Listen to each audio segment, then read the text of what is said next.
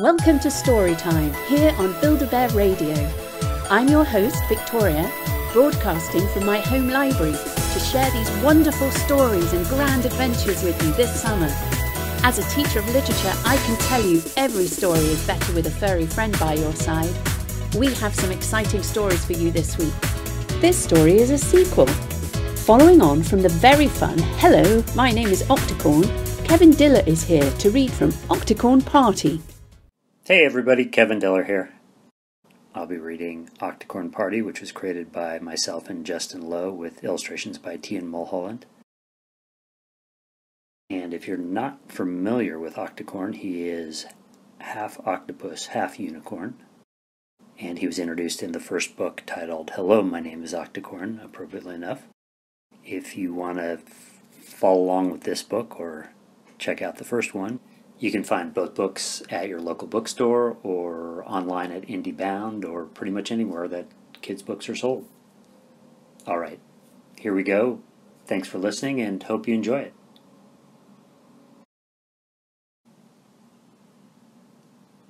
Hi everyone, I'm Octicorn and I'm having a pool party. Octicorns love pool parties because one, there are pools, two, they are parties, and three, there are usually cupcakes. But there's one problem. What if nobody comes? What if I get so embarrassed no one comes that I have to wear a disguise for the rest of my life? I do not want to wear a disguise for the rest of my life, but I also really want to have a pool party, so this is a very big pickle for me. Okay, here I go, I guess. I hope this isn't a catastrophe. Catastrophes are even worse than pickles. Hi, I'm Octi. Will you come to my pool party? Will there be rainbows to fly over? Because that's sort of my thing. If there are rainbows to fly over, I'm in. Unicorn is coming to my pool party! Hi, I'm Octi. Will you come to my pool party?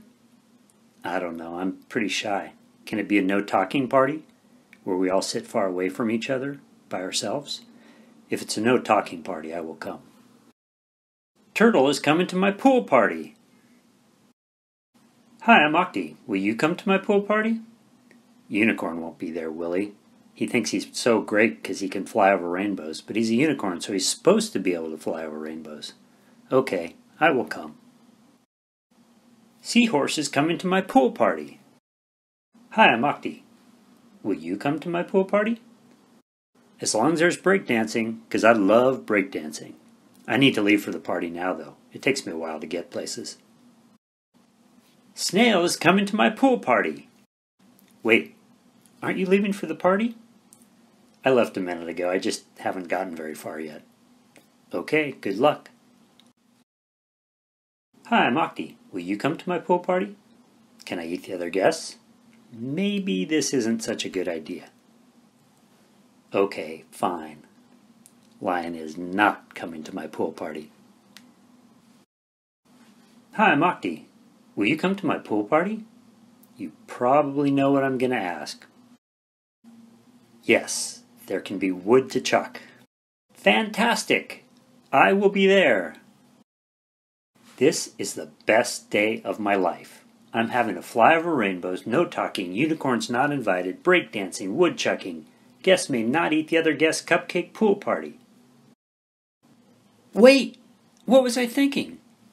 Unicorn is invited, so Seahorse will have a bad time. Snails are terrified of woodchucking. Unicorn will talk Turtle right back into shell, and Lion will probably show up and try to eat the other guests. This is a catastrophe. Oh well, I guess I'm not having that party after all. I'm having a do what you want, be who you are, no matter what anyone else thinks party instead. Sorry, Lion, you have to stay outside, but you can have a cupcake. The end. It's complicated being an octicorn and having so many friends you have to keep happy. That was brilliant! I'm feeling inspired to spend my afternoon finishing that story, and what's that? Yes, we do have time for one more story today. Our next tale is a story that is sure to pull you in. Soman is here to read from the incredible tale, The School for Good and Evil. Hi, I'm Soman author of the School for Good and Evil series. There are six books in the series total, with the last book coming out this year called One True King. It's also being made into movies that hopefully will be coming out soon as well. The School for Good and Evil is the tale of two girls who are best friends, a girl named Sophie and a girl named Agatha, who are kidnapped to go to the famous school for good and evil. Everyone presumes Sophie is going to be a princess at the school for good. Everyone presumes Agatha is going to be a witch at the school for evil. And they are switched into the wrong schools and their fortunes are reversed. And the big question is why? And I wrote these stories because I grew up reading and, and watching a lot of fairy tales, especially Disney ones. And the black and white world of good always winning no matter what always seemed to irk me because it felt like the villains never got a fair share. And even when I read something like Harry Potter, I felt like the Voldemorts of the world and the Slytherins didn't get their say. And so, what I wanted to do with the School for Good and Evil was give the opportunity to have villains and heroes get an equal chance at winning in a story. We're going to follow the villains just as, me, as much as we will the heroes, and you get to choose which school you support. You get to choose whether you root for the School for Good or the School for Evil, and you might be surprised at which school you ultimately feel you fall into. And Sophie and Agatha are the two best friends who anchor this story. And Sophie, in this chapter I'm going to read, chapter 2, is desperate to get kidnapped to the school for good. She wants to leave her town. She wants to get out as soon as possible. You know, she wants Agatha to come with her too, but Agatha's trying to keep her home because Agatha doesn't want them to be kidnapped to this weird, strange school they know nothing about where they'll never come home again. And it's rumored that kids die there and terrible things happen. So here's chapter two called The Art of Kidnapping. And it begins with Sophie determined to be kidnapped. Chapter 2 The Art of Kidnapping. By the time the sun extinguished, the children were long locked away. Through bedroom shutters, they peeked at torch armed fathers, sisters, grandmothers lined around the dark forest, daring the schoolmaster to cross their ring of fire. But while shivering children tightened their window screws, Sophie prepared to undo hers. She wanted this kidnapping to be as convenient as possible. Barricaded in her room, she laid out hairpins, tweezers, nail files, and went to work. The first kidnappings happened 200 years before. Some years it was two boys taken, some years two girls, sometimes one of each. The ages were just as fickle. One could be 16, the other 14, or both just turned 12. But if at first the choices seemed random, soon the pattern became clear. One was always beautiful and good, the child every parent wanted as their own. The other was homely and odd, an outcast from birth, an opposing pair plucked from youth and spirited away. Naturally, the villagers blamed bears. No one had ever seen a bear in Gavaldon, but this made them more determined to find one. Four years later, when two more children vanished, the villagers admitted they should have been more specific and declared black bears the culprit, bears so black they blended with the night. But when children continued to disappear every four years, the village shifted their attention to burrowing bears, then phantom bears, then bears in disguise until it became clear it wasn't bears at all. But while frantic villagers spawned new theories, the sinkhole theory, the flying cannibal theory, the children of Gavaldon began to notice something suspicious. As they studied the dozens of missing posters tacked up in the square, the faces of these lost boys and girls seemed oddly familiar. That's when they opened up their storybooks and found the kidnapped children. Jack, taken a hundred years before, hadn't aged a bit. Here he was, painted with the same moppy hair, pink dimples, and crooked smile that made him so popular with the girls of Gavaldon. Only now he had a beanstalk in his back garden and a weakness for magic beans. Meanwhile, Angus, the pointy haired, freckled hooligan who had vanished with Jack the same year, had transformed into a pointy eared, freckled giant at the top of Jack's beanstalk. The two boys had found their way into a fairy tale.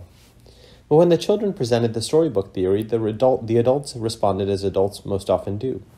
They patted the children's heads and returned to sinkholes and cannibals. But then the children showed them more familiar faces. Taken fifty years before, sweet Anya now sat on moonlit, moonlit, moonlit rocks in a painting as the Little Mermaid, while cruel Estra had become the devious sea witch. Philip, the priest's upright son, had grown into the cunning little tailor, while pompous Gula spooked children as the Witch of the Wood. Scores of children kidnapped in pairs had found new lives in a storybook world. One is good, one is evil. The books came from Mr. Deauville's storybook shop, a musty nook between Battersby Bakery and the Pickled Pig pub. The problem, of course, was where old Mr. Deauville got his storybooks. Once a year, on a morning he could not predict, he would arrive at his shop to find a box of books waiting inside. Four brand new fairy tales, one copy of each. Mr. Deauville would hang a sign on his shop door, closed until further notice. Then he'd huddle in his back room day after day, diligently copying the new tales by hand until he had enough books for every child in Gavaldon. As for the mysterious originals, they'd appear one morning in his shop window, a sign that Mr. Deauville had finished his exhausting task at last. He'd open his doors to a three mile line that snaked through the square, down hill slopes, around the lake, jammed with children thirsting for new stories, and parents desperate to see if any of the missing had made it into this year's tales. Needless to say, the Council of Elders had plenty of questions for Mr. Deauville. When asked who sent the books, Mr. Deauville said he hadn't the faintest idea. When asked how long the books had been appearing, Mr. Deauville said he couldn't remember a time when the books did not appear. When asked whether he'd ever questioned this magical appearance of books, Mr. Deauville replied, Where else would storybooks come from? Then the villagers noticed something else strange about Mr. Deauville's storybooks. All the villages in them looked just like Gavaldon, the same lakeshore cottages and colorful eaves, the same purple and green tulips along thin dirt roads, the same crimson carriages, wood-front shops, yellow schoolhouse, and leaning clock tower, only drawn as fantasy in a land far, far away. These storybook villages existed for only one purpose, to begin a fairy tale and to end it. Everything between the beginning and the end happened in the dark, endless woods that surrounded the town. That's when they noticed that Gavaldon, too, was surrounded by dark, endless woods. Back when children first started to disappear, villagers stormed the forest to find them, only to be repelled by storms, floods, cyclones, and falling trees.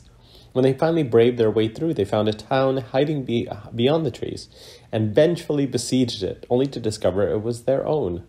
Indeed, no matter where the villagers entered the woods, they came out right where they started. The woods, it seemed, had no intention of returning their children, and one day they found out why.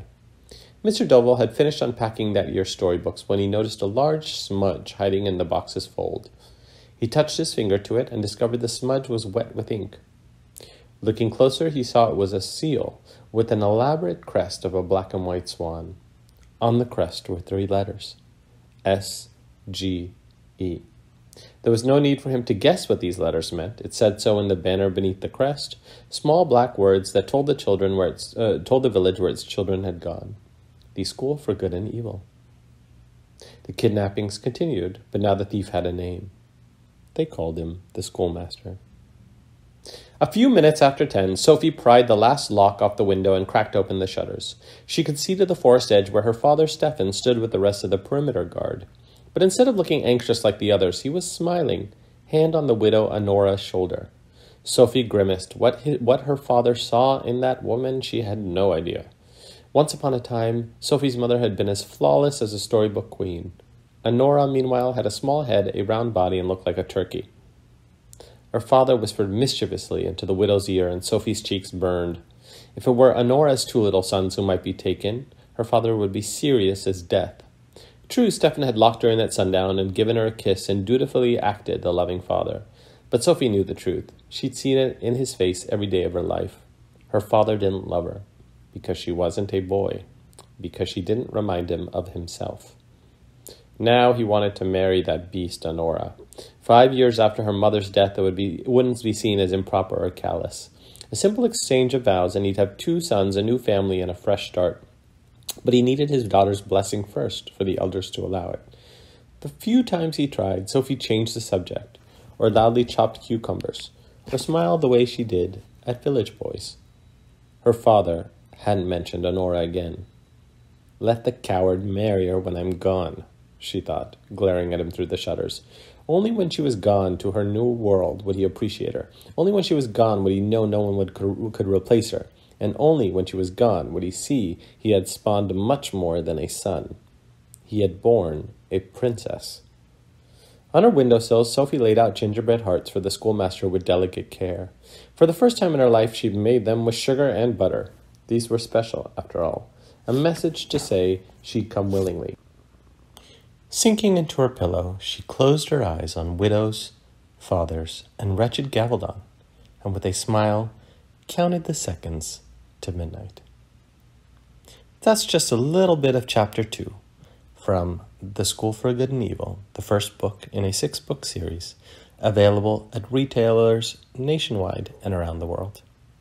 Thank you. Thank you for that, Soman. It's so exciting that the final book is coming out, and we're going to find out what happens to Sophie and Agatha in the end. I can't wait to finish that book and check off another great adventure from my Build-A-Bear summer reading list. If you haven't already, make sure you head over to buildabear.com forward slash radio to download your own free reading list and track your progress. Thank you so much for joining me here on Build-A-Bear Radio for another great episode of Storytime. With new authors joining us each week with great stories you won't want to miss out. Bring your coziest blanket and a cuddly furry friend every weekday at noon Pacific, 3 pm Eastern, exclusively here on Build-A-Bear Radio. Until next time, I'm your host, Victoria, closing this chapter of Storytime. See you soon.